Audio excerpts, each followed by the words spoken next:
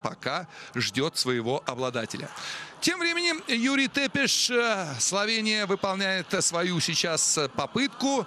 Э, Уже пятеро спортсменов э, совершили свои прыжки. Пока э, лидер, соотечественник Тепеша Жига Зига Желар.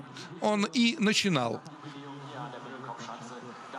под первым номером эту серию прыжков. Снега мало в Европе, в том числе и далеко не в высокогорном э, Виллингене.